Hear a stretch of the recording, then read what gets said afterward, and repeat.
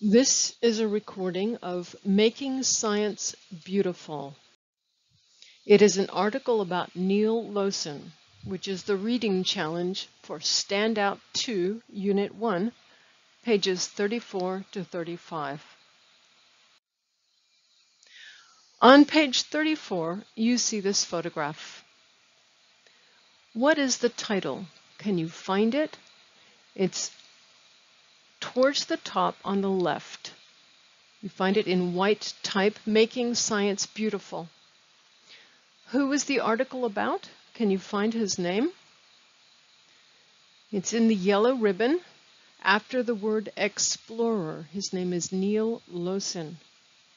Where is he? Is he in the house? Is he in the car? He's outdoors. What is he doing? You see what he has in his hands? What does he say? Let's take a closer look at what he says. When I'm not working on my research, I'm usually working on a film or photography project to bring science to a bigger audience. Neil Losin. We know those are his words because we see the quote marks, quotation marks, at the beginning and the end of what he says. Here's the word quotation marks, quotation marks. Also notice the mark that comes before his name, which is after the quote. That is called a dash. So this is how we pull out what somebody says so that people can see it. We use quotation marks and we put his name at the end with a dash in front of it. Now let's turn to the text. Do you remember the title? What is the title? Making Science Beautiful. Okay. And who is the interview with? Who is this person? Neil Losin. Good job. All right, let's turn to the text. It's on page 35. We're going to approach it first before we actually read it. This is called pre-reading. It's the work we do to find our way in the text before we sit down and pay attention to each word. It's very important because it helps us understand each word later. So first, just look at the text. How many paragraphs do you see? A paragraph is kind of like a chunk of text. There are two paragraphs. We know there are two paragraphs because of the space that comes into in front of each one. What do you call that space? Do you know? It is an indent. Now, let's actually look at the paragraphs, but not the whole paragraph, just the first sentence. We're going to take a quick tour. So the first sentence is, my name is Neil Losin. Now, make a prediction. What do you think the paragraph will be about? Will it be about dogs? Will it be about cooking? What do you think it will be about? Okay, now let's read the first paragraph and find out what it's about. My name is Neil Losin. I'm a biologist, photographer, and filmmaker. A biologist studies life and living things. I especially like to study lizards, but I'm interested in all animals. I use my photographs and videos to tell stories. I have a company called Days Edge Productions. My partner in the company is Nate Dappen. He's a photographer and a filmmaker too. With our films, we want to teach people about science, nature, and conservation. Okay, so remember what you thought after you read the first sentence. What did you think the paragraph was going to be about? And was it about that? I thought the paragraph was going to be about Neil Losin because the sentence was, My name is Neil Losin. And it is about Neil Losin. It's about what he's interested in and what he does. Now let's read the first sentence of the next paragraph. I have a very busy schedule. So, without reading the paragraph, what do you think the paragraph will be about?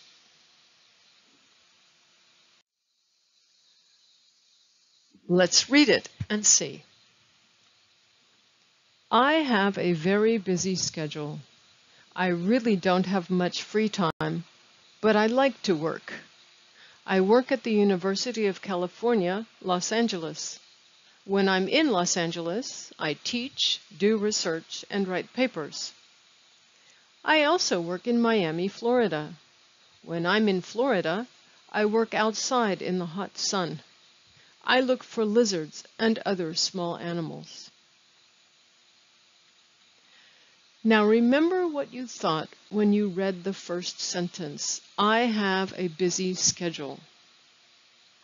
You probably thought we are going to read about his schedule. Did we read about his schedule? We didn't read about every day, but we read about his general schedule, his work in Los Angeles and his work in Florida. He sounds like a busy man. So the first sentence is usually the topic sentence.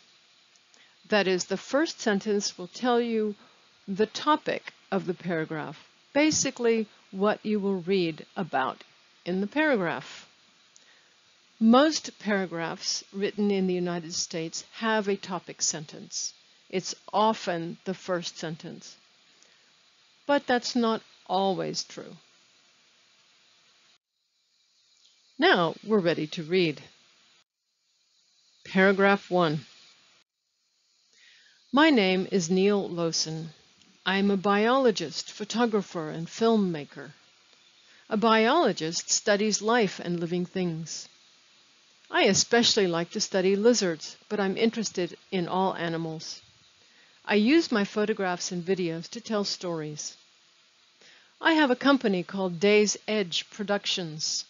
My partner in the company is Nate Dappen. He's a photographer and filmmaker too. With our films, we want to teach people about science, nature, and conservation. Let's look at vocabulary. What words in paragraph one got your attention? Okay, the first word that I noticed in paragraph one is biologist. Biologist. How many syllables is that? Biologist. Four syllables. Where is the stress? Bio. It's on the second syllable. Ya. I can tell because there's a pitch change and it's a little stronger. Biologist. The next word is photographer. Photographer. How many syllables? photographer. Also four syllables. And where is the stress? Photograph. Second syllable, just like biologist, photographer. We'll come back to the word photographs when it shows up in the text. So let's move to filmmaker, filmmaker, filmmaker, filmmaker. How many syllables is that? And where is the stress? Filmmaker. It may be difficult to say L and M. Film, filmmaker. You don't have to make the M longer just because there are two M's. M is naturally a kind of long sound, so don't worry about the fact that there are two M's. Film, filmmaker. The next word is in line two, especially. It looks like especially or especially, but it's not. It's especially. This means that the CIA is the sound sh. Isn't that weird? CI can sometimes be sh, but the A we don't pronounce. Especially. So it's a three syllable word with the stress on the second syllable. Especially. The next word is also in line two. Lizards. Lizards. Two syllables, the stress on the first syllable. The next word I chose is photographs. It's in the third line at the beginning. Photographs. How many syllables? Photographs. Three syllables. Where is the stress? Photographs. Yes, it's on the first syllable. So let's look at these two words that we have in the yellow here photographer and photographs. They sound different. In photographer, the stress is on the ta. In photographs, the stress is on the fo. There are many other words that work in the same way, but until you know a lot of words, it becomes confusing. So if there's a graph er on the end, pho will not be stressed. So photographer. If it's just graph on the end, photograph. Okay, the next word I found is after photographs. It's in line three. Videos. Videos. How many syllables? Notice that we're dividing between the E and the O to change syllables. Videos. Where's the stress? All right. The next one is the name of the company, Days Edge Productions. Productions. Days Edge Productions. So the S on days connects to the E in edge like it's one word. Days Edge productions. Now we have the word film. Film. The next word is in line four.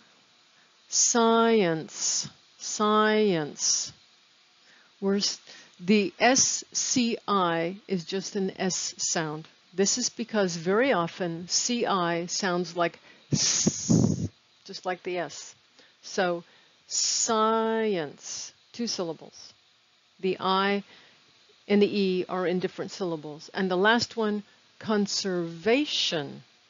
Conservation, how many syllables? And where is the stress? Good. Now, let's look at paragraph two. I have a very busy schedule. I really don't have much free time, but I like to work.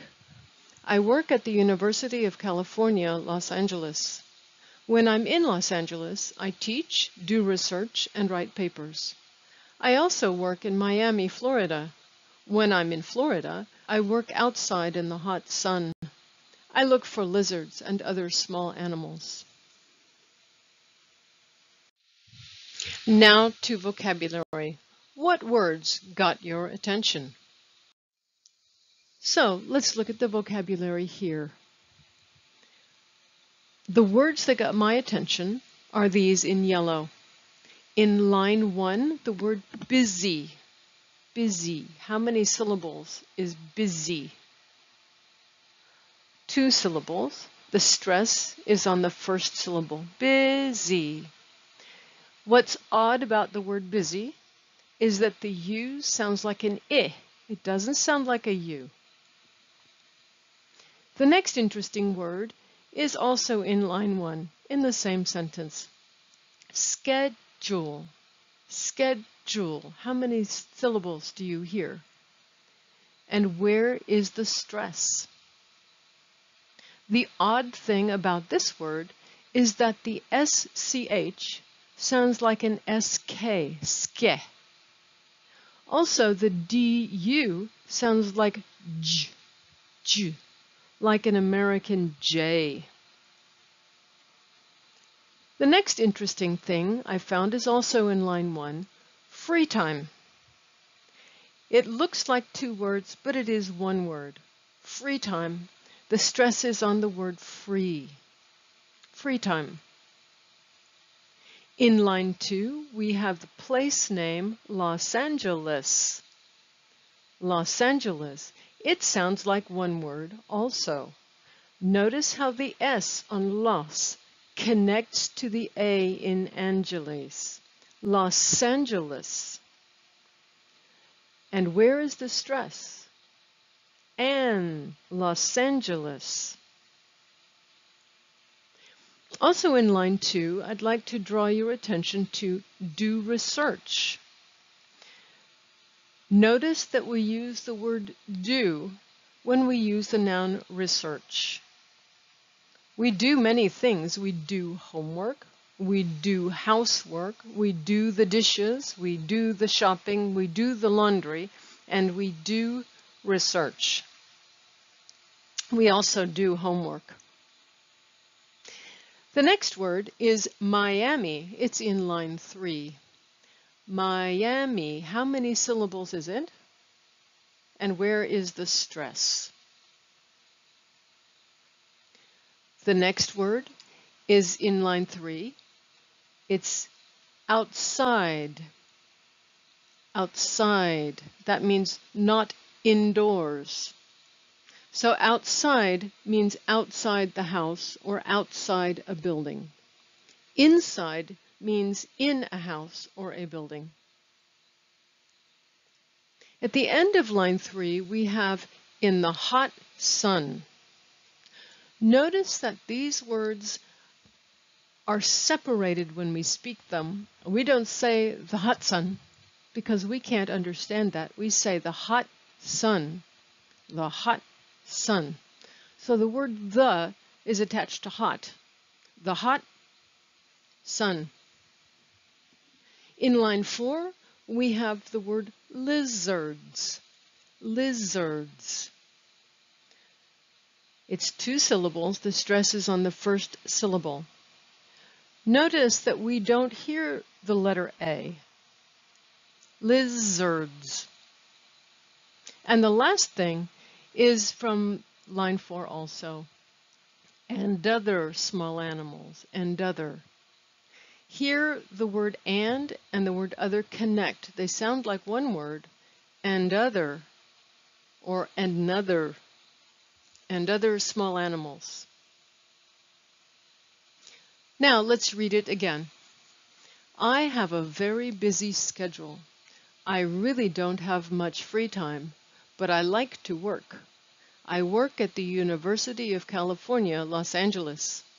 When I'm in Los Angeles, I teach, do research, and write papers. I also work in Miami, Florida. When I'm in Florida, I work outside in the hot sun. I look for lizards and other small animals. Let's read the whole thing again. My name is Neil Losin. I'm a biologist, photographer, and filmmaker. A biologist studies life and living things. I especially like to study lizards, but I'm interested in all animals. I use my photographs and videos to tell stories. I have a company called Days Edge Productions. My partner in the company is Nate Dappen. He's a photographer and filmmaker too. With our films, we want to teach people about science, nature, and conservation. I have a very busy schedule. I really don't have much free time, but I like to work. I work at the University of California, Los Angeles. When I'm in Los Angeles, I teach, do research, and write papers. I also work in Miami, Florida. When I'm in Florida, I work outside in the hot sun. I look for lizards and other small animals. Good job. Thank you.